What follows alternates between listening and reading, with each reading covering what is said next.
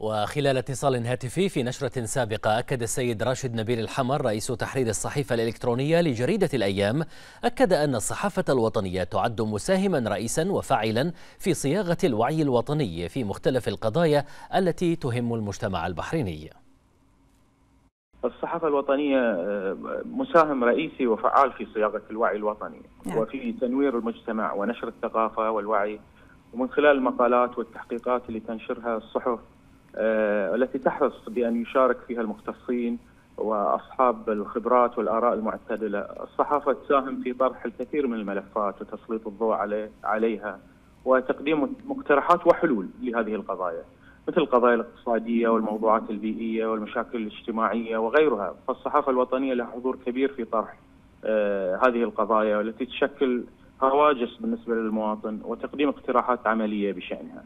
أيضا صحافتنا الوطنية تعمل على إبراز الجهود الحكومية والإنجازات والمشاريع الكبرى التي تعمل عليها الحكومة الرشيدة.